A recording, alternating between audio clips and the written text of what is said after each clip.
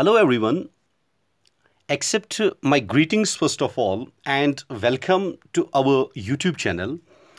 आज जो टॉपिक आपके सामने हम प्रेजेंट करेंगे it will be about the basics of computer जिसमें बात करेंगे हम इंट्रोडक्शन के बारे में means introduction of the computers उसके बाद हिस्ट्री ऑफ़ कंप्यूटर्स उसके बाद जनरेशन्स के बारे में डिफरेंट कंप्यूटर जनरेशन्स के बारे में जानने की कोशिश करेंगे उसके बाद functions and features of computer उसके बाद various types of computer and बीच बीच में कुछ ऐसे एम हमने डाले हुए हैं that are important for you और in other words you can say that that have been asked in the different competitive examination hope you will like this video and if so अगर अच्छा लगे वीडियो तो please like button press कीजिएगा share with your friends and do subscribe yourself also to support us thank you पहले start करेंगे about the introduction of computer जानने की कोशिश करेंगे कि कंप्यूटर क्या है।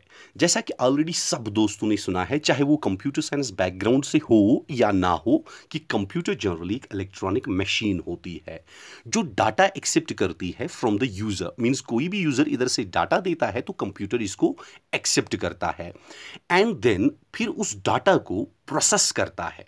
मीन्स कंप्यूटर उस डाटा को जो उसको यूज़र प्रोवाइड करता है, उस डाटा को प्रोसेस करता है, उस डाटा पे by performing various calculations and operations means user ने इधर से डाटा दिया कंप्यूटर को और कंप्यूटर ने उसको प्रोसेस किया। प्रोसेस कैसे किया? उस पर वेरियस कैलकुलेशंस किए, उस पर वेरियस ऑपरेशंस किए एंड जनरेट करता है फिर कंप्यूटर डिजायर्ड रिज़ल्ट या डिजायर्ड आउटपुट जो हमें चाहिए होता है। मीन, जो भी हम इधर से आप सिंपल अल्फाजों में याद रखोगे कि यूज़र ने कंप्यूटर को हुक्म दिया, उधर से कंप्यूटर ने वो हुक्म एक्सेप्ट कर दिया, अल्लादीन का चराग जैसा, ठीक?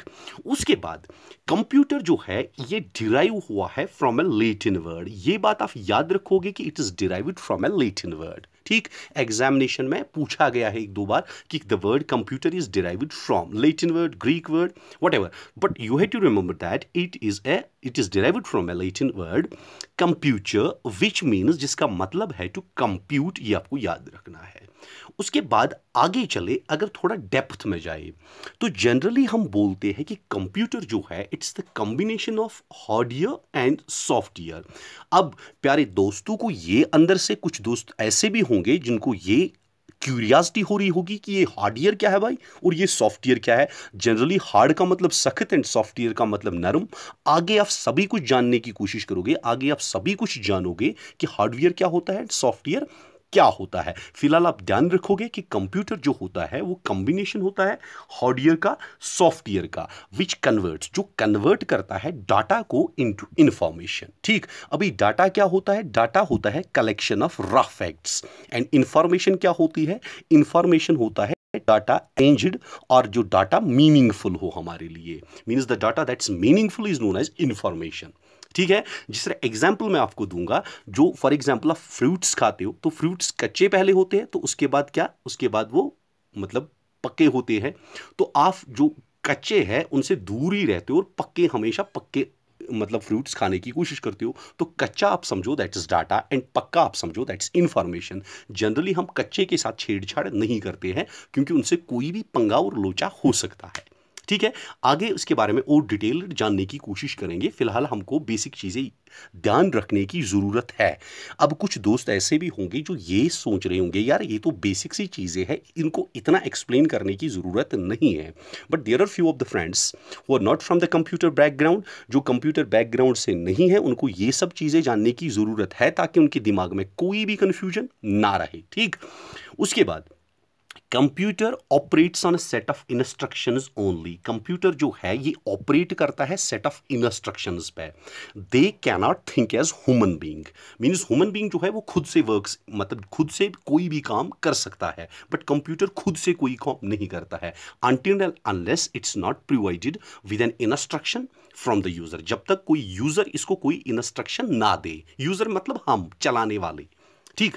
उसके बाद, computer has an ability to store and execute set of instructions called program means computer की सलाहियत होती है कि वो स्टोर रखता है एंड एग्जीक्यूट करता है इंस्ट्रक्शंस को, जिनको हम प्रोग्राम कहते हैं which makes it extremely distinguishable and versatile then calculators जो इनको कैलकुलेटर से थोड़ा अलग बनाता है एंड कैलकुलेटर से थोड़ा वर्सटाइल बनाता है। ठीक। उसके बाद computer makes people's life easy and more comfortable means जो कंप्यूटर होता है, वो लोगों की ज़िंदगी को आरामदेह बनाता है और बड़ा कंफर्टेबल बनाता है। ठीक? ईजियर मीन्स आसानदेह और आरामदेह बना देता है लोगों की ज़िंदगी को। उसके बाद अगर बात करें हिस्ट्री ऑफ़ कंप्यूटर्स की तो in the beginning means generally जब शुरू, शुरुआत में means in the nomad period of कह सकते हो, या जब, तभी जब कंप्यूटर्स एग्जिस्टेंस में नहीं आए थे तो लोग क्या करते थे? इन ऑर्डर टू एड और सब्ट्रैक्ट मीन्स ताकि एड कर सके वो या सब्ट्रैक्ट कर सके वो वो जनरली स्टून्स का इस्तेमाल करते थे फिंगर्स का इस्तेमाल करते थे या टोज का इस्तेमाल करते थे। फिर the earliest known tool use for computation was the abacus computation means process of computing और कैलकुलेटिंग समथिंग मीन्स कैलकुलेट करने के लिए पहले जो एग्जिस्टेंस में आया उसका नाम एबैकस था, ये आपको याद रखना है। It was developed by develop किसने किया था ये? चाइना ने इन द सिक्सटीन सेंचुरी ये बात आपको याद रखनी है। उसके बाद अबैकस जो था was the first mechanical computer ये पहला मैकेनिकल कंप्यूटर था। यूज़ टू परफॉर्म जो करता था addition subtraction and calculation of square roots means जिसकी मदद से हम एडिशन कर सकते थे सब्ट्रैक्शन कर सकते थे and calculation means square roots निकाल सकते थे। ठीक। अभी उसके बाद आया Pascal Pascal developed the first mechanical adding machine means Pascal ने क्या डेवलप किया? फ़र्स्ट एडिंग मशीन किस ईयर में? In the year 1642 that could perform जो क्या क्या करती, काम करती थी? Addition and subtraction of two numbers directly means direct वो करती थी एडिशन भी सब्ट्रैक्शन भी बट खाली दो नंबर्स का। For example twenty two plus twenty three these are two numbers तो इनका करती थी वो। ठीक? And multiplication and division through repeated addition और सब्ट्रैक्शन मीन्स और ये करती थी मल्टीप्लीकेशन भी मीन्स पास्कल ने जो एडिंग मशीन बनाई थी, वो ऑफकोर्स मल्टीप्लीकेशन भी करती थी डिवीज़न भी करती थी बट थ्रू रिपीटेड एडिशन और सब्ट्रैक्शन मेथड्स ठीक? ये रहा इसके बारे में। उसके बाद चार्ल्स बबेज जो है he is known as the father of computer इसको फादर ऑफ़ कंप्यूटर बोला जाता है, याद रखना। फादर ऑफ़ कंप्यूटर अलग फादर ऑफ़ मॉडर्न कंप्यूटर अलग, ये बात आपको याद रखनी है। चार्ल्स बबेज को फादर ऑफ़ कंप्यूटर बोला जाता है ही बिकॉज़ इसको क्यों बोला जाता है फादर ऑफ़ कंप्यूटर क्योंकि उसने इन्वेंट किया था डिफरेंस इंजन 1822 में and then analytical engine in 1837 which can store the information and punch cards जो इंफॉर्मेशन स्टोर करते थे यूजिंग पंच कार्ड्स तो इसमें आपके बहुत सारे ऑब्जेक्टिव्स बन के आते हैं। For example who is considered as the father of computer तो आप कहोगे Charles Babbage the difference engine was invented by Charles Babbage in 1822. Analytical engine was uh, invented by Charles Babbage in 1837 that could store the information on the punch cards. ठीक ये आपको याद रखना है तो आगे अगर हम बढ़ेंगे तो उसके बाद एलन ट्यूरिंग जो है ये बात आपको याद रखनी है एलन ट्यूरिंग जो है he is regarded as the father of modern computer science ठीक उसको मॉडर्न कंप्यूटर साइंस का फादर माना जाता है क्यों क्योंकि 1936 Turing provided the concept of the algorithm and computation with Turing machine.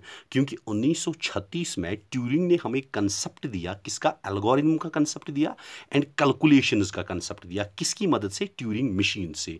And he also prepare the blueprint for the electronic digital computer ये आपको याद रखना है।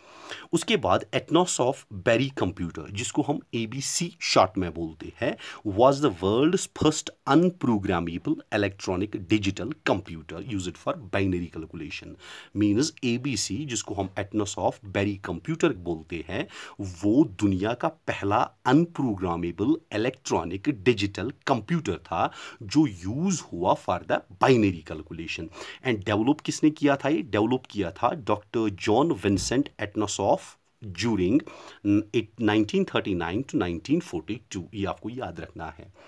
उसके बाद आगे चले electronic numerical integrator and computer ENIAC full form इसकी, ये आपको याद रखनी है फुल फॉर्म ऑफ़ इनैकिस बहुत बार एग्जामिनेशन में पूछा गया है। Electronic numerical integrator and computer was the first digital computing device ये पहला डिजिटल कंप्यूटिंग डिवाइस था। इन्वेंटेड बाई इन्वेंट किसने किया था? John Adam Presper Eckert and John Mauchly in 1946 ठीक? John Adam Presper Eckert and John Mauchly ने in the year 1946 उसके बाद electronic delay storage automatic calculator EDSAC आपको याद रखनी है इसकी full form electronic delay storage automatic calculator ये दुनिया का पहला स्टोरेड प्रोग्राम कंप्यूटर था to operate a regular computer service invent किसने किया था ये? मॉरिस वेल्कस इन 1949 में। उसके बाद आगे यूनिवर्सल ऑटोमेटिक कंप्यूटर, यूनिवैक। ये बहुत बार इसकी एब्रीवेटेड फॉर्म एग्ज़ाम में आई है। Was the first general purpose computer for commercial use means commercial use के लिए पहला जनरल कंप्यूटर जो था, वो यूनिवैक ही था मीन्स यूनिवर्सल ऑटोमेटिक कंप्यूटर ठीक? That was developed by Eckert Eckert ने डेवलप किया था and John William Mauchly in 1951 means Eckert and John Mauchly ने इसको इन्वेंट किया था इन द ईयर 1951 किसको? यूनिवैक को। यूनिवैक की full form universal automatic computer. ठीक है? वीडियो को बहुत अच्छे से देखिएगा। अगर वीडियो अच्छा लग रहा है तो लाइक बटन पर क्लिक कीजिएगा। और आई एश्योर यू कि इस रिलेटेड बेसिक्स ऑफ़ कंप्यूटर के रिलेटेड हमने कोई भी इंफॉर्मेशन नहीं छोड़ी है जो आपके एग्जामिनेशन में आए। ठीक है? अभी मेरे दोस्तों का बहुत सारा ये भी क्वेश्चन होता है कि क्या हम नोट्स बना लें या कोई हम बुक्स कंसल्ट करें। It's your choice at all but believe me we are not leaving any stone and turn to collect your material from the different sources we use different sources the collect your material बहुत सारी sources हम इस्तेमाल करते हैं, बहुत सारी books इस्तेमाल करते हैं बहुत सारे अच्छे अच्छे आर्टिकल्स हम पढ़ते हैं in order to collect your material and then हम आपके सामने प्रेजेंटेशन लाते हैं। ऐसे ही नहीं लाते, ऐसे तो मैं दिन में पचासों प्रेजेंटेशन दे दूँ, ठीक है? बिलीव मी उसके बाद नेक्स्ट वाला जो है, अभी कुछ इंपॉर्टेंट एमसीक्यूज जो एग्जामिनेशन में आते हैं। Who is the father of personal computer personal computer का फादर कौन है? ये आपको याद रखना है। हेनरी एडवर्ड रॉबर्ट्स, जिसको मैंने इधर लिखा है एडवर्ड रॉबर्ट लिखा है तो इसका फुल नाम जो है Henry Edward Roberts. And he is the one आपको याद रखना है who coined the term personal computer in the year 1975 ठीक है? उसके बाद a C P U contains C P U में क्या होता है? Card reader and a printing device तो बिल्कुल गलत है। Analytical engine and a control unit बिल्कुल गलत है। Control unit and an arithmetic logic unit ये तो बिल्कुल सही है, ठीक?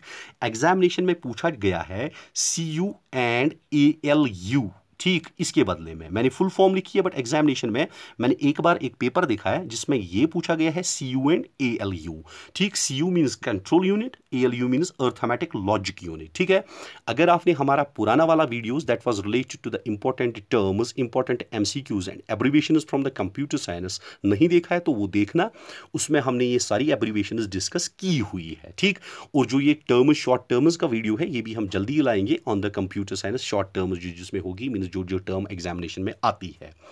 तो उधर what I am trying to say that examination में जनरली आता है C U and A L U तो आपको उस पर टिक करना है बट समटाइम्स मैंने और एक पेपर देखा जिस पर लिखा है C U A L U and register ठीक है? तो अगर रजिस्टर एड होगा तो उसको भी आप क्लिक करोगे, क्योंकि इसमें रजिस्टर भी होता है, ठीक? ये आपको याद रखना इधर। उसके बाद नेक्स्ट वाला है the term computer is derived from term computer derive कहाँ से हुई? जर्मन से अरबिक से फ्रेंच या लेटन से? अभी हमने पढ़ा, ये लेटन से डिराइव हुआ है।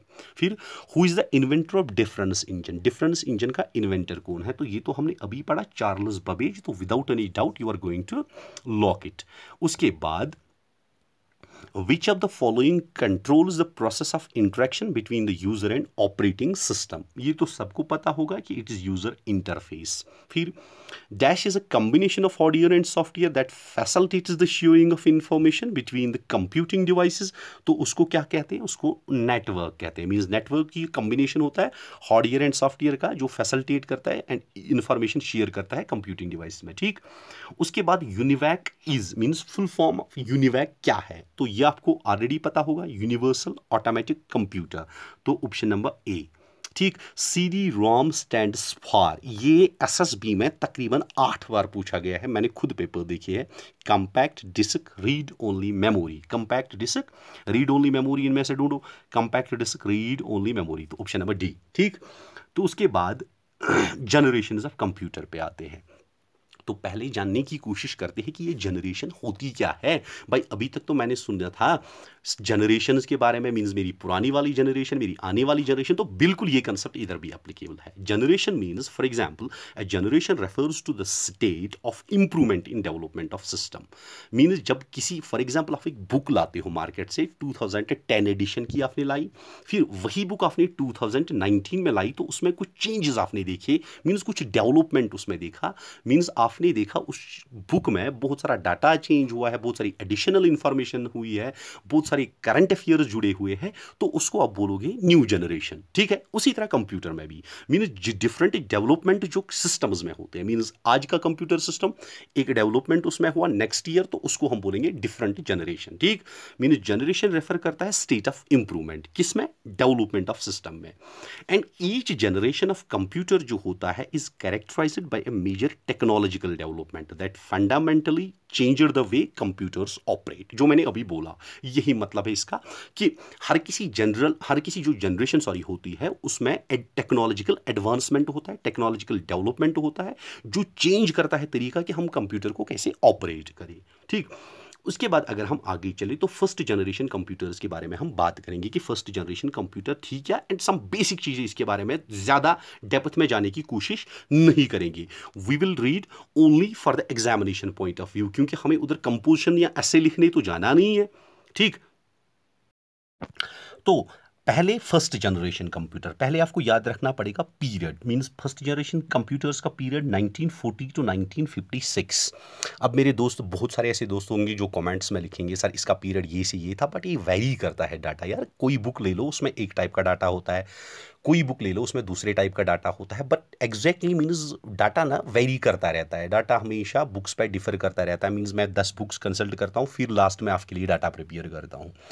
ठीक, अभी first generation computers used vacuum tubes as their basic component they produced more heat ज़्यादा heat produce करते थे so needing cooling devices अब heat produce करते थे तो cooling devices ज़रूरी होते ही है ठीक they consumed huge electricity occupied huge spaces huge costs etc और एक बात याद रखोगे आप machine code was used as programming language means machine code इस्तेमाल होता था इसमें example ENIAC and UNIVAC they were the first generation computers अब एग्जामिनेशन में मैंने ऑलरेडी देखा हुआ है, जो फ्रेंड्स हैं, वो भूल जाते हैं कि हमने क्या याद रखा था फ़र्स्ट जनरेशन कंप्यूटर में। यार वैकम ट्यूब रखा था ट्रांजिस्टर्स रखा था हाई लेवल लैंग्वेज रखा था लो लेवल लैंग्वेज रखा था मशीन लैंग्वेज रखा था, याद क्या रखा था? तो इसके लिए एक छोटा सा नुस्खा आपको बता दूँ। आपको याद रखना है मालवा प्लेट्यू का नाम सुना होगा। आपको मालवा याद रखना है M A L V A Malwa. ठीक M A L V A Malwa. उसके बाद U A E United Arab Emirates UAE सुना होगा? ये ट्रिक है आपके लिए। एम ए से मतलब machine language mean machine code या मशीन लैंग्वेज एम ए से मतलब ठीक? फिर उसके बाद L V A M A आप रखोगे याद machine language means M A L से याद रखोगे। आप मशीन लैंग्वेज या मशीन कोड आप याद रखोगे। फिर उसके बाद वी ए जो है उससे आप याद रखोगे। वैकम ट्यूब्स ठीक? फिर उसके बाद यू जो आएगा, वो आएगा यूनिवैक ई जो आएगा, वो आएगा इनैक अब दोस्त सोच रहे होंगे, यार ए तो एडिशनल लाया बट ए का मतलब वन क्योंकि ए तो पहला लेटर है तो one means first generation computer आपको याद रखना है, Malwa U A E but Malwa की spelling M A L V A ठीक है? उसके बाद यूनाइटेड अरब एमारेट्स ठीक? उसके बाद नेक्स्ट चले तो सेकेंड जनरेशन कंप्यूटर आता है। सेकेंड जनरेशन कंप्यूटर का पीरियड क्या था? फ्रॉम 1956 टू 63 ठीक? ट्रांजिस्टर्स इनमें आए as the components they were cheap compact faster programming and produced less heat इन्होंने की as compare to word first generation computer उसके बाद आपको याद रखना है assembly language and high level programming language like photo and COBOL was use example I B M one four one zero P D P eight hundred ठीक? अब इसके बारे में थोड़ा सा मैं आपको बता दूँ कि इसको याद कैसे रखोगे? आप रखोगे याद, हाल ट्रिप मीन जनरली हम ट्रिप के लिए जाते हैं हाल में, फिर कलेक्ट होते हैं H A L L hall and T R I P means trip hall trip अब हाल से आप क्या याद रखोगे? हाई लेवल लैंग्वेज इसमें यूज़ हुई। ठीक है कि नहीं है? हाई लेवल तो हुई। ठीक। एच सी एफ़ रखोगे हाई याद ए सी एफ़ रखोगे याद असेंबली लैंग्वेज ठीक है? H A means high assembly L से याद रखोगे लैंग्वेज ठीक है?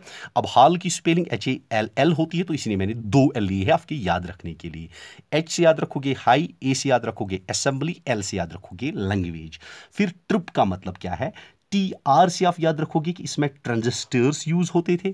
ठीक, उसके बाद आई पी से क्या याद रखोगे? I B M one four zero one and P से P D P eight hundred ये से आपको याद रहेगा। अच्छा लगे को अच्छा लगे तो लाइक ज़रूर करो शेयर ज़रूर करना, ठीक है? नहीं लगे तो कोई मसला नहीं है। उसके बाद थर्ड जनरेशन कंप्यूटर्स पे आते हैं। थर्ड जनरेशन का पीरियड 1964 टू 1971 अब थर्ड जनरेशन कंप्यूटर्स में इंटीग्रेटेड सर्किट्स यूज़ हुए ट्रांजिस्टर्स के बदले में। और इंटीग्रेटेड सर्किट्स में क्या क्या होता था? ट्रांजिस्टर होता था रजिस्टर होता था कैपेसिटर होता था, ये चीज़ें इसमें होती थी।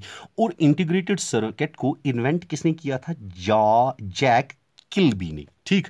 It provides compactness self effectiveness less electricity consumption etcetera उसके बाद आपको याद रखना है हाई लेवल लैंग्वेज इसमें यूज़ हुई थी। ये आपको याद रखना है एग्जाम्पल्स कुछ आपको याद रखनी है, ठीक? याद आपको बेसिक चीज़ें रखनी है इंटीग्रेटेड सर्किट्स ये याद रखना है। इन्वेंट इनको किसने किया था? जैक किलबी ने, और उसके बाद इसमें हाई लेवल लैंग्वेज यूज़ हुई थी थर्ड जनरेशन कंप्यूटर में। ट्रिक बता दूँगा याद रखने के लिए। आपको याद रखना है इन आई एन एन उसके बाद J K, Jammu and Kashmir, J K, Jammu and Kashmir, उसके बाद हिल, क्योंकि हिल बहुत होते हैं इधर, चोटियाँ पहाड़ होते हैं ना बहुत तो इन, जे के, हिल, ठीक? इन से क्या आप याद रखोगे? इन से डायरेक्टली इंटीग्रेटेड सर्किट्स याद रहा? J K, Jack Kilby means इन इंटीग्रेटेड सर्किट्स किसने बनाए? जे के ने, जैक किलबी ने, उसके बाद हिल हिल से मतलब डायरेक्टली हाई लेवल लैंग्वेज इसमें यूज़ हुई तो directly H I high L L language ठीक है? तो आप ऐसे याद रख सकते हो ये, ठीक? उसके बाद fourth generation computer fourth generation computer 1971 to present चल रहे हैं। उसके बाद आपको इंपॉर्टेंट पॉइंट याद रखना है कि वी एल एस आई उनमें यूज़ हुआ था। इधर क्वेश्चन दो तरफ़ के बनते हैं। फोर्थ जनरेशन कंप्यूटर में क्या यूज़ हुआ था? तो V L S I use हुआ था। दूसरा question V L S I की फुल फॉर्म क्या है? तो वेरी लार्ज इंटीग्रेटेड सर्किट्स आपको याद रखना है इंस्टेड ऑफ़ इंटीग्रेटेड सर्किट्स ठीक? उसके बाद उसमें काबिलियत, सलाहियत बहुत कुछ थी वो ऑलरेडी मैंने लिख के रखा है, ज़रूरत नहीं है याद रखने की। बस आपको ज़रूरत याद रखने की ये है कि high level language for example C C plus plus D base etcetera were used example इसमें Macintosh I B M P C computers ठीक? ये आपको याद रखना है। अब इसके लिए क्या ट्रिक सर बता दो? इसके लिए भी थोड़ा सा कुछ बता दो, जैसे हमें याद रहे, थोड़ा शॉर्ट शॉर्ट ही हमें उतना यार जैसे कि ऑलरेडी मैंने बोला, यार ऐसे लिखने तो नहीं जाना है। हमें तो ऑलरेडी टिटबिट से मतलब है कि हमें सारी बेसिक चीज़ें पता होनी चाहिए, सारी ऐसी चीज़ें चीज़ें that are important for the examination point of view कोई नहीं, इसका भी हल निकाल देंगे। आप याद रखोगे वाइस चांसलर हमारी यूनिवर्सिटी का वी सी हिम मीन्स लड़का है। हमेशा लड़की तो कभी देखी नहीं मैंने यूनिवर्सिटी का वाइस वाइस चांसलर बुरा मानने वाली बात नहीं है, बस ट्रिक है, ठीक है? वी सी हिम अब वी सी हिम ही होता है। वी सी से मतलब क्या है? वी सी से आप याद रखोगे वेरी सर्किट्स ठीक है? वी सी आप याद रखोगे इसे वेरी लार्ज इंटीग्रेटेड सर्किट्स ठीक? उसके बाद हिम से क्या याद रखोगे? हिम से याद रखोगे एच आई से हाई लेवल लैंग्वेज ठीक? एम से याद रखोगे मैकंतोष में हुआ था ये यूज़ पहले। ठीक है, ऐसे आपको याद रहेगा। उसके बाद नेक्स्ट जो हमारा है, वो है फिफ्थ जनरेशन कंप्यूटर अब fifth generation computer 1980 to present times fourth भी चल रहा है फिफ्थ भी चल रहा है ऑलरेडी ठीक है? अब इसमें V L S I technology के बदले में U L S I technology use हुई थी। अल्ट्रा लार्ज स्केल इंटीग्रेशन इसकी फुल फॉर्म भी बिल्कुल आप याद रखोगे। Ultra large scale integration technology इसमें यूज़ हुई थी, ठीक? और उसके बाद आपको याद रखना है कि इसमें all high level languages for example C C plus plus Java etcetera can be used example robotics ठीक है? तो इसको आप कैसे याद रखोगे? क्योंकि आपका एक फ्रेंड है, उसका नाम राहुल है। राहुल नाम तो सुना ही होगा, ठीक। राहुल से याद रखोगे, आर से याद रखोगे तो रोबोटिक्स, ठीक। ए, एच से याद रखोगी तो all high level languages, A, all, H, high level languages, ठीक है। उसके बाद यू, एल से याद रखोगे, यू, एल, एस, आई, आपको याद रहेगा इधर यू, एल, ठीक। राहुल मीन्स फाइव नंबर पे, ठीक। याद रहा? गुड लेट्स मूव फॉरवर्ड उसके बाद कुछ इंपॉर्टेंट क्वेश्चंस जो हमने लाए हैं इस सेक्शन से। पहला वाला the first computer were programmed using, means पहले कंप्यूटर प्रोग्राम हुए थे यूजिंग आप क्या रखोगे यार? मशीन लैंग्वेज जो फ़र्स्ट जनरेशन कंप्यूटर में हुआ था, या मशीन कोड हो सकता है उधर तो उसी को टिक मारना है, ठीक है? फिर I B M one four zero one किस जनरेशन का कंप्यूटर है? तो you have to remember it was the second generation computer उसके बाद a term in computer terminology is a change in technology a computer is was being used ठीक, इसका मतलब क्या है? जो ऑलरेडी मैंने बोला जनरेशन ठीक है कि नहीं? ये जनरेशन मीन्स कंप्यूटर टर्मिनोलॉजी में टेक्नोलॉजी चेंज होना, उसको हम जनरेशन बोलते हैं। फिर the generation based on V L S I microprocessor अभी हमने डिस्कस किया था कौन सी जनरेशन थी वो? तो फोर्थ जनरेशन थी वो, ठीक? उसके बाद dash dash generation of computers started using vacuum tubes as the basic component किस जनरेशन कंप्यूटर में? वैकम ट्यूब्स इस्तेमाल हुई थी तो फ़र्स्ट में हुए थे। Batch processing was mainly use in this generation किस जनरेशन में? बैच प्रोसेसिंग हुई थी। तो batch processing was done in first generation computer जिसमें पंच कार्ड्स का इस्तेमाल हुआ था पेपर टेप या मैग्नेटिक टेप ठीक है? उसके बाद आपको याद रखना है dash dash is an emerging branch in computer science which interrupt means and method of making computers think like human beings means कौन सा ऐसा तरीका जो कंप्यूटर्स को बिल्कुल ह्यूमन्स के जैसे बनाता है? जैसे रॉबर्ट्स है तो वो कौन सा तरीका है? ए आई इसको ए एल नहीं ए आई समझोगे। A I means artificial intelligence ठीक है? आर्टिफिशियल इंटेलिजेंस वो, ठीक है? Is the emerging branch of computer science ये इंपॉर्टेंट क्वेश्चन है, याद रखना है। उसके बाद ऑलरेडी मैंने बोला था यू आई की फुल फॉर्म क्या है? ऑलरेडी आपको याद रह चुका होगा अल्ट्रा लार्ज स्केल इंटीग्रेशन ठीक है? अल्ट्रा लार्ज स्केल इंटीग्रेशन किधर है? Part number ultra large scale नहीं नहीं, ये पार्ट नंबर ए तो अंडर है, अल्ट्रा ई है पार्ट नंबर ए ठीक? उसके बाद H L L stand for तो हाई लेवल लैंग्वेज होता है हाई लेवल लैंग्वेज को ढूंढो तो हाई लेवल लैंग्वेज इधर है, ठीक? इसके बाद आगे चले हम फ़ंक्शन ऑफ़ कंप्यूटर पे। तो कंप्यूटर का फ़ंक्शन पहला क्या? इनपुट ठीक? इंफॉर्मेशन और data that is entered into the computer is called input means हम कोई इंफॉर्मेशन आप देते हो तो उसको इनपुट बोलते हैं। It sends data and instructions data और इंस्ट्रक्शंस को ये सेंड करता है to the central processing unit means हमने जो इन्फॉर्मेशन या डाटा कंप्यूटर में एंटर की, उसको हम इनपुट बोलते हैं। और ये सेंड करता है डाटा या इंस्ट्रक्शन को सेंट्रल प्रोसेसिंग यूनिट में। उसके बाद प्रोसेसिंग क्या होता है? प्रोसेसिंग होता है sequence of actions taken on data to convert it into information which is meaningful to the user actually जो यूज़र होता है, वो इंफॉर्मेशन यूज़ करता है। जैसा कि ऑलरेडी मैंने बोला इंफॉर्मेशन जो होता है, वो पक्का हुआ आम होता है या पका हुआ कोई भी मेवा होता है और डाटा जो होता है वो कच्चा होता है। अब ये कच्चे को पक्का बनाने का काम कौन सा करता है? प्रोसेसिंग करता है। मीन्स प्रोसेसिंग एक ऐसा सीक्वेंस ऑफ़ एक्शंस है जो कन्वर्ट करता है डाटा को इंफॉर्मेशन में। ये आपको याद रखना है। उसके बाद coming to the next output output क्या होता है? जो आपको कंप्यूटर उधर से रिज़ल्ट देता है, उसको हम आउटपुट बोलते हैं। मीन जो प्रोसेस डाटा होता है मीन जो इंफॉर्मेशन हम तक पहुँचती है, जो हम डिज़ायर करते हैं, चाहते हैं, उसको बोलते हैं आउटपुट हम।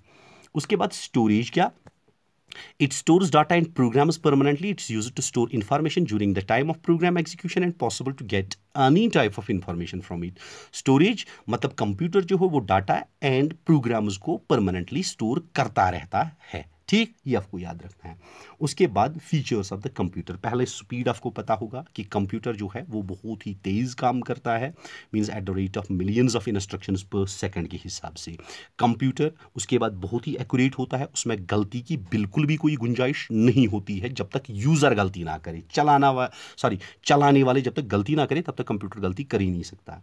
उसके बाद स्टोरेज कंप्यूटर की बहुत स्टोरेज होती है। Depends upon the capacity of hard disk पर डिपेंड करता है।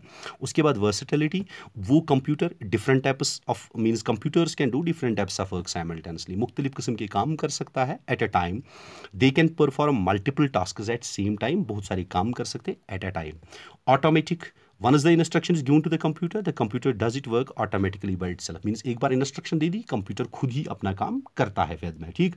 उसके बाद diligence unlike human beings a computer is free from monotony means इंसान की तरह कंप्यूटर को मोनोटानी नहीं होती है मीन्स बोरिंग वोरिंग ना, उसको मोनिटानी बोलते हैं। Tiredness lack of concentration etcetera जो इंसानों में होती है, वैसा कंप्यूटर में नहीं होता है। उसके बाद सेक्रेसी अगर हम पासवर्ड रखें या सिस्टम प्रोटेक्टेड रखें विद द पासवर्ड तो उससे सेक्रेसी मेंटेन होती है। उसके बाद रिलेबिलिटी जैसे आपको पता होगा कि कंप्यूटर जो होते हैं मोर रेलेबल होते हैं as compare to human beings ठीक? क्योंकि कंप्यूटर्स हमेशा एग्जैक्ट रिज़ल्ट प्रोवाइड करते हैं, और उनमें एरर की कोई गुंजाइश नहीं होती है, जैसा कि ऑलरेडी मैंने बोला, जब तक यूज़र कोई गलती इधर से ना करे। ठीक, उसके बाद plug and play computers have the ability to automatically configure and new hardware and software computer means कि कंप्यूटर खुद ही अरेंज और प्रपेयर करता है खुद के लिए एक नया हार्डवेयर या सॉफ्टवेयर मीन्स आपको जनरली जब आप मोबाइल चलाते हो मोबाइल की एग्जांपल मैं देता हूँ। फॉर एग्जांपल आपको उधर से ही मैसेज आती है कि नए सॉफ्टवेयर की रिक्वायरमेंट है, उसी को हम प्लग एंड प्ले बोलते ठीक आगे हम चले टर्म्स रिलेटेड कौन कौन सी टर्म पहले हार्ड ईयर जानने की कोशिश करो। Component of the physical elements means physical element जो भी होते हैं, उनको हम हार्डवेयर बोलते हैं, ठीक? Comprehensive term for all the physical parts of computer means तमाम फ़िज़िकल पार्ट्स जो होते हैं, जिनको हम टच कर सकते हैं। For example display screen disk keyboard extra ठीक? सॉफ्टवेयर जो होता है सेट ऑफ़ प्रोग्राम्स होता है मीन्स कुछ प्रोग्राम या प्रोसीजर होता है। और सॉफ्टवेयर बताता है हार्डवेयर को कि उसका क्या करना है और क्या नहीं करना है। फॉर एग्जांपल वेब ब्राउज़र है या वर्ड प्रोसेसर है या या सारी एग्जांपल एक्सेल है या पावर पॉइंट है, उसके बाद डाटा जो है, जैसा कि ऑलरेडी मैंने बोला unprocessed raw facts and figures mean जो अनप्रोसेस्ड होता है रॉ फैक्ट या कोई भी फिगर होती है for example number text on the piece of paper इसको हम डाटा बोलते हैं। उसके बाद इंफॉर्मेशन इंफॉर्मेशन जनरली होती है, जब डाटा को प्रोसेस किया जाए, उसको एक मीनिंगफुल बनाया जाए, उसी को हम इंफॉर्मेशन बोलते हैं। उसके बाद इंस्ट्रक्शन जो भी हम कंप्यूटर को इधर से देते हैं इन द कंप्यूटर लैंग्वेज ठीक? बाय द यूज़र उसको हम इंस्ट्रक्शन बोलते हैं। उसके बाद प्रोग्राम जो होता है, ये सेट ऑफ़ इंस्ट्रक्शन होता है, जो हम कंप्यूटर को देते हैं। उसके बाद नेक्स्ट वाला क्लासिफिकेशन ऑफ़ कंप्यूटर्स ठीक? अभी क्लासिफिकेशन ऑफ़ कंप्यूटर्स पे आए तो on the basis of size size के मुताबिक कंप्यूटर्स को इस कैटेगरी में क्लासिफाई किया गया है। Micro computer micro computer are the least powerful. कम ही पावरफुल है ये, बट मोस्ट यूज़ होते हैं। ठीक? They are also called as उनको पोर्टेबल कंप्यूटर्स भी बोला जाता है। They are generally a synonym for personal computers personal computers means micro computers are also called as personal computers ठीक? अब माइक्रो कंप्यूटर जो होते हैं consist of basic category of physical equipment three basic equipments system unit input output unit and memory unit उसके बाद micro computers की कुछ किस्में फॉर एग्जांपल डेस्कटॉप कंप्यूटर और पर्सनल कंप्यूटर देखे ही होंगे, आप यूज़ करते होंगे। They are based on micro processor technology integrated circuit उसके बाद लैपटॉप ये तो सबके पास होगा ही होगा। ये जस्ट ब्रीफ केसेस में आता है और इसकी, इसमें एक बैटरी लगती है, जो हम कभी भी, कहीं भी यूज़ कर सकते हैं। उसके बाद पॉम टॉप, ये भी सबके पास तकरीबन होता ही होता है यार। ये स्मॉलेस्ट होते हैं, ताकि ये पाम में फिट होते हैं एक्चुअली हाथ में, हथेली में। इसीलिए इनको पाम टॉप के नाम से जाना जाता है। They are design to allow people to keep necessary information at hand क्योंकि जनरली हम इन्फॉर्मेशन भूल जाते हैं, इसीलिए इनको बनाया गया है, ताकि नेसेसरी जो इन्फॉर्मेशन हो, बाकी कोई चीज़ जो हो, वो हैंड में ही रही। उसके बाद टैबलेट कंप्यूटर जो है it's a computer it's a computer larger than a mobile phone mobile phone से थोड़ा बड़ा होता है टैब जैसा कि सब आप चलाते होंगे। But these can accept input from a pen pen से इंस्ट्रक्शन एक्सेप्ट करती है अदर देन ए कीबोर्ड और माउस ठीक? उसके बाद मिनी कंप्यूटर क्या होता है? Mini computers smaller in size faster होते हैं।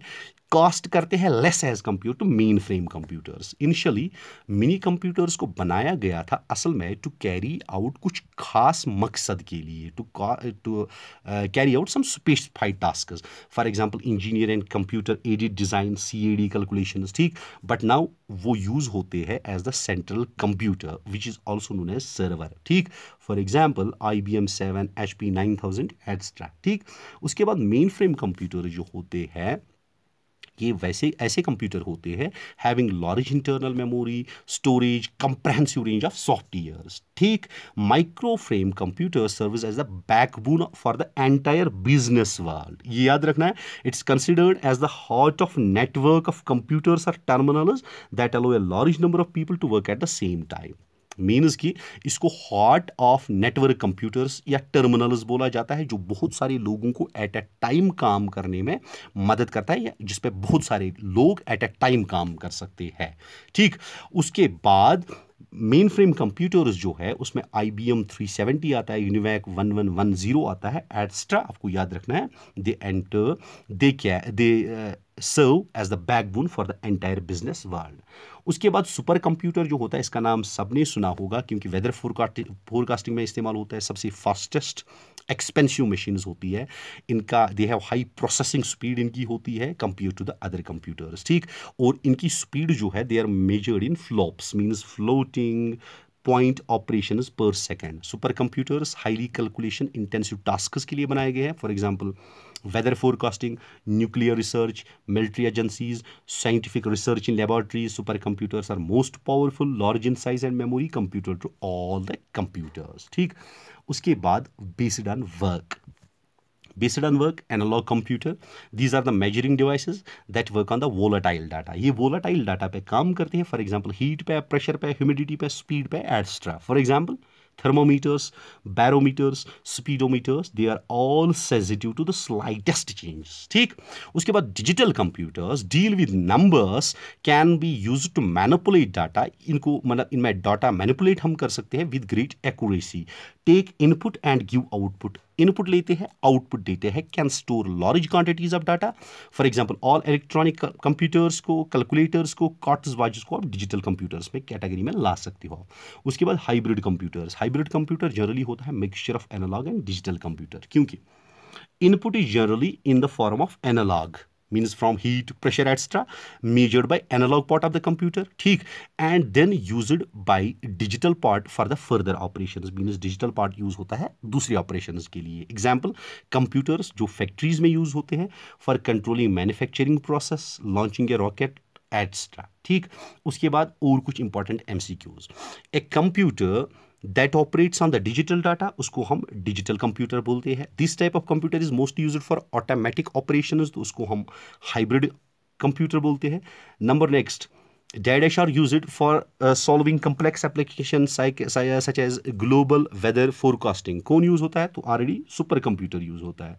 उसके बाद the invention of dash dash give birth to much cheaper micro computers किसकी इन्वेंशन से? तो लैपटॉप्स की। नहीं sorry the invention of dash dash gave birth to the much cheaper micro computers तो किसकी? माइक्रो प्रोसेसर की वजह से, ठीक है? Micro processor option number C फिर they can operate on the batteries तो इसका लैपटॉप आएगा, ठीक है? लैपटॉप की वजह से। फिर उसके बाद पीडीए स्टैंड फॉर पीडीए किस पे स्टैंड करता है? मीन्स पीडीए की फुल फॉर्म क्या है? तो पर्सनल डिजिटल असिस्टेंट इसकी फुल फॉर्म है। पर्सनल डिजिटल असिस्टेंट को ढूंढो personal digital assistant personal digital assistant C part ठीक है? A computer cannot boot if it does not have the computer तब तक बूट नहीं करेगा जब तक ऑपरेटिंग सिस्टम ना हो, ठीक? फिर उसके बाद E B C D I C stand for means की extended binary coded decimal interchangeable interchange code इस पे स्टैंड करता है, ठीक है? So with this, we completed this topic. Hope you loved this video and please do keep supporting us, keep loving us, do subscribe our YouTube channel and do share it with your friends also. In case of any problem, in case of any confusion, you are free to comment in the comment section but एक बात इधर बता दूँ कि मेरे पास इतना time थोड़ा कम ही रहता है कि आपकी मतलब हर किसी के कॉमेंट्स का आंसर देता चलूँ बट फिर भी I am trying my level best जैसा आप कहते हो, आपकी रिकमेंडेशन पे ही मैं टॉपिक लाता हूँ। और कुछ दोस्तों की ये स्पेशल रिकमेंडेशन है sir agriculture and economic development पे टॉपिक एक बनाया जाए तो उनके लिए नेक्स्ट वीडियो जो होगा, वो हंड्रेड एंड वन परसेंट उसी पे होगा। ठीक है? Thank you have a nice day have a happy life ahead and make your parents proud of your achievements. Thank you all.